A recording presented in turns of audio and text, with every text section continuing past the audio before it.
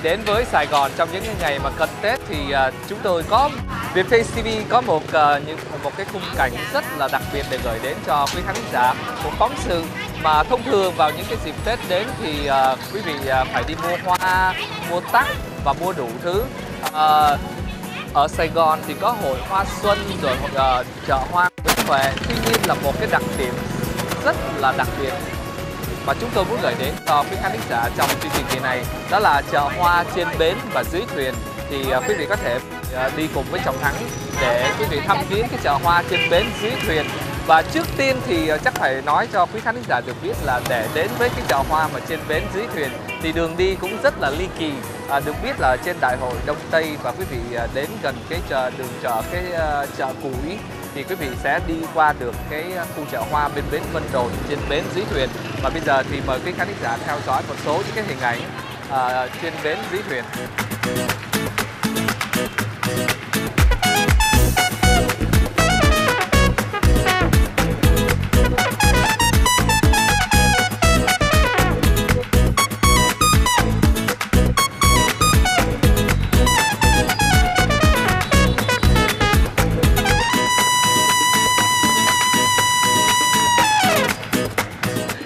Có thể thấy rằng là à, những cái chuyến đi rất là ly kỳ mình phải đi qua một cái cầu gỗ cho nhỏ để quý vị có thể leo lên thuyền. Và trong thuyền thì có rất là nhiều những cái chậu tắc. Và ngoài những cái chậu tắc thì chúng ta còn thấy là có mai có cúc có trúc. Nhưng mà từng mỗi một cái khúc sông và một số những cái thuyền thì họ lại bán một cái loại uh, cây kiểng để mà mình trưng trong những ngày tết khác nhau. À, và đây thì quý vị có thể thấy được là những cái chậu tắc mà trái rất là nhiều. À, em ơi em em bán ở đây luôn hả? Hay sao? Hay chỉ thuyền bên đây thôi? Anh này hả? Ok. Bán nhiêu? Cái này bán.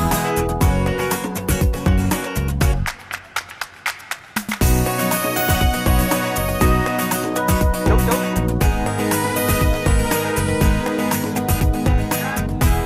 À, thưa anh ở đây nó tắc nhiều quá. Cái này là tắc này mình trồng ở đâu mình mang dạ, lên hả? trồng ở Cá Mơn anh ở đâu anh? Cá Mơn Cá Mơn Bến Tre. Cái mơn bến tre đó hả? Rồi. rồi. từ đó rồi mình bỏ ở trên đây thì à, thấy ở dưới có tắc thì trên đây cũng có tắc nữa. Dạ. Năm nào anh cũng có mặt ở chợ trên bến chiếc thuyền này hả dạ đúng rồi. Năm năm nào? nào? Có mười mấy năm nay là ở đây không?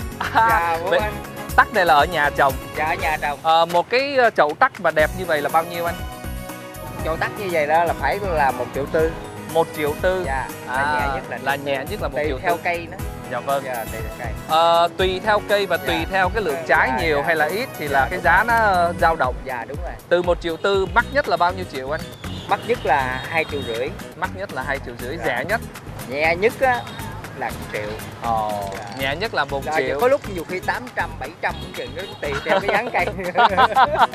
Với lại tùy theo ngày Dạ, nữa dạ. bảo anh? Gần Dạ. Tết quá rồi mà anh Dạ. chưa bán hết là bao nhiêu là ngày 28, 20, 29, 29, 30 Tết là Ờ, mình phải bán cho nó hết. hết mà có năm nào mà anh bán không hết không?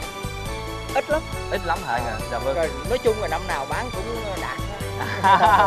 Anh ơi đi dạo sau này thì dân Sài Gòn mình đi mua hoa đồ này kia ờ, có rôm giả như mọi năm không anh? Năm nay cũng thấy cũng tương đối lắm anh? Tương đối Dạ. lắm hả anh? Ở đây có cái gì vui anh?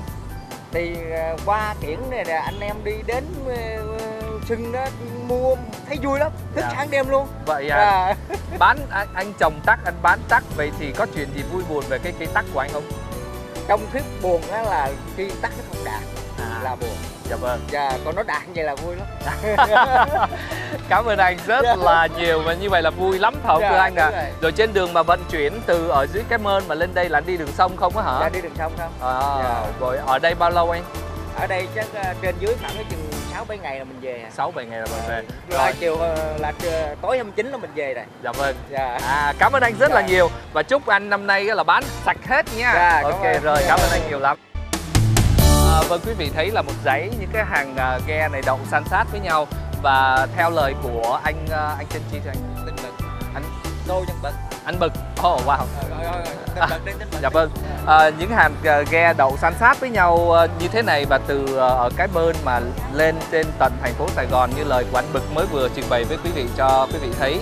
À, như vậy thì à, đến khoảng chừng à, 29 Tết đó là cái ngày cuối cùng phải bán cho hết bằng được tất cả những cái chậu tắc rất là đẹp à, để mang đến cho những cái ngày Tết, những cái tài, những cái lộc à, đến cho mọi gia đình của người dân Sài Gòn.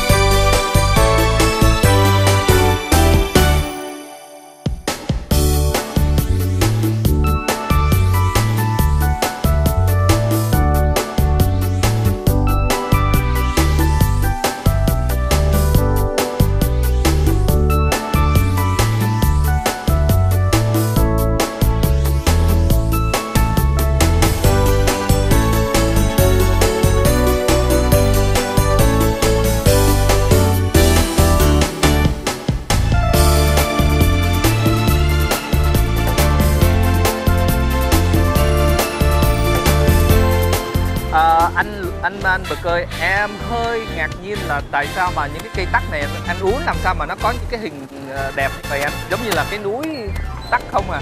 Nói chung thì ờ, nó cũng cây trùng cây tắc nhưng Dạ. mà từ đó mình uống cái cái hình hình lên mình ờ, dùng lẻm nè dạ. để cho nó Kết nó lại. kết lại cho cho nó đều. Dạ. Cho có thẩm mỹ. Dạ. Mình dễ bán. Nhưng mà thưa anh là cái này đó là để được bao lâu để thì cũng khoảng mùng 10 đến mùng 10 Tết. Dạ mùng 10 tết. Lúc đó là mình ờ, mình hái xuống mình pha nước tắc uống được rồi. Tắc uống luôn. Cái này ngọt hay chua anh? Dạ chua. Chua. Cảm ơn anh Bực nhiều. Dạ. Đi với em giữa trời hoa anh hỡi. Nụ hôn đó những lời yêu mê say. Là mùa xuân mãi mãi chỉ cần em bên người. Đôi khi hờn ghen đôi khi giận nhau vu vơ trong lòng em con tim tình yêu trao anh một ngày nắng rơi hồng má em cười em như nàng tin bao câu chuyện xưa giữ ước mơ Thưa quý vị là thấy là đi dọc như trên cái con đường và đại lộ Đông Tây như thế này à, có nhiều những cái chậu hoa khác nhau. Ở đây thì là có những cái chậu hoa giấy rất là đẹp và trên ghe thì còn rất nhiều những cái chậu hoa giấy khác đang chờ đón. Khi mà bán sạch hết những cái chậu hoa giấy ở trên đây thì bắt đầu sẽ đưa những cái hoa giấy ở trên ờ, đò xuống và Sài Gòn thì quý vị có mà biết là một cái điểm rất là đặc biệt đó là không khí ở đây nó khá nóng ở trong vào ngày Tết và xe cộ thì rất là đông đúc cho nên là quý vị mà đi thưởng lãm những cái cây hoa, những cái chậu hoa đẹp như vậy trong ngày Tết thì cũng đừng quên là phải ngó xe chứ còn không có là kẹt lắm thưa quý khán giả. Và ở đây thì không biết là cái chậu hoa này là bao lâu em ơi em. Chào em, em tên gì vậy? Ngân hả? Ngân ờ, Ngân ơi cái hoa này em trồng ở đâu vậy? Dạ mới trồng ở Bến Tre ở Bến Tre hả từ Bến Tre lên á à, mà trồng một cái cây như thế này đó là bao lâu thì mình có hoa đẹp như vậy Dạ một năm anh.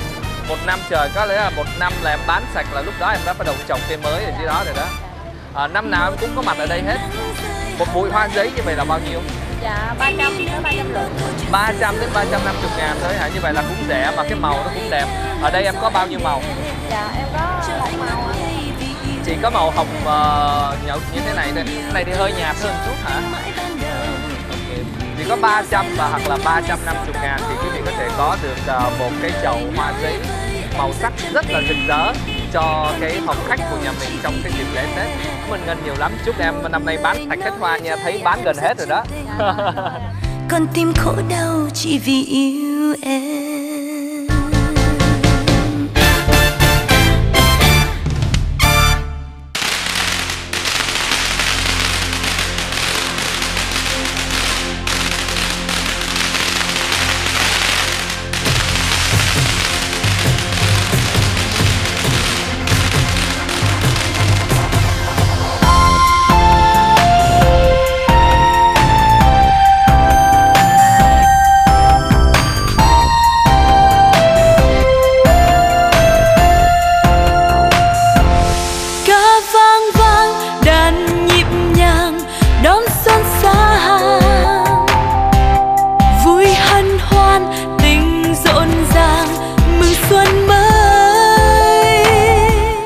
Thưa quý vị, trời Sài Gòn rất là nóng trong những cái ngày Tết cho nên là để mà giải khát thì uh, quý vị phải mua một uh, nước mía xay uh, uống ngọt và cái hơi lạnh của đá thì nó sẽ làm dịu ở trong mình.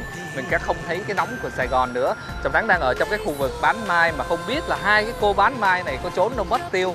À, cho nên là chắc có lẽ là chỉ giới thiệu đến cho quý khán giả được biết là những cái cây mai. Ở đây thì Trọng Thắng thấy là có những cái bụi mai rất là cao đẹp tuyệt vời và ngoài ra thì có những cái chậu mai lùn à, nhỏ xíu giống như là những cái chậu bonsai của mai. À, thì không biết là giá cả ra như thế nào thì chút xíu nữa đây nếu như mà cái cô hàng mai quay trở lại thì à, trọng thắng sẽ phỏng vấn cổ. Nhưng mà để tiếp tục mà đi tới nữa thì à, thưa quý vị là quý vị có thể thấy rằng à, mai rất là đẹp những cái nụ hoa à, còn đang búp ở trên cành. Một số những cái hoa mai đã nở và hoa này biết là hoa mai mấy cánh. Tuy nhiên rằng là ngày Tết thì cũng có một cái thú, gọi là cái thú đếm cánh hoa mai coi coi là mấy cánh và nếu mà nhiều hơn 5 cánh thì là là mình có tài lộc nhiều hơn trong năm mới.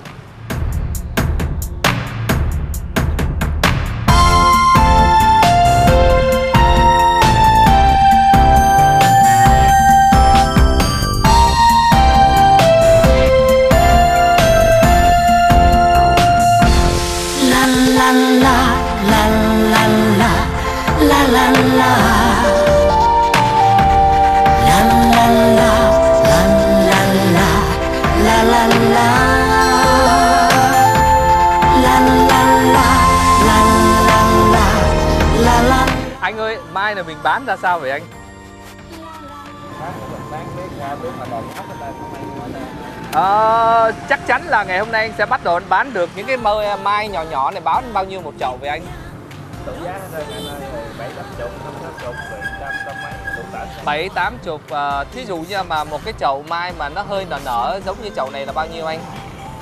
từ trăm tới trăm rưỡi à đó À vậy à. Còn những cây mai lớn thì sao anh? đủ giá trơn rồi ơi Mấy triệu, cây này mấy triệu? năm triệu bảy triệu rồi hai triệu triệu rồi nó Dạ. đã Wow. Từ hôm anh đến đây là mùng mấy đến giờ anh? Ồ mới lên chiều hôm qua hả thầy? Mà sáng giờ thì là chờ chưa có anh mở hàng chưa? À, rồi bán lại đây rồi Bán lai rai rồi hả anh? Dạ, chắc chắn là anh sẽ bán hết từ vì mai của anh ờ, mấy cái thấy mai rất là đẹp.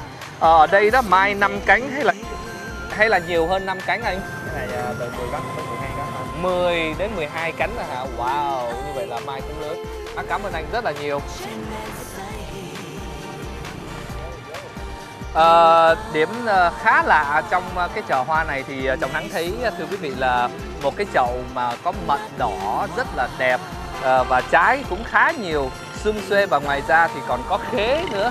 Khế thì ở bên phía trong đây trái cũng là rất là xung xuê mận xanh ở bên mé này rồi cây khế chen nhau. Và ngoài ra thì cũng có những cái cậu trúc ờ, cúc vàng và hoa mồng gà đỏ trông rất là đẹp. Ờ, và bây giờ thì chắc có lẽ là đi qua bên đây để hỏi thăm coi cô chủ.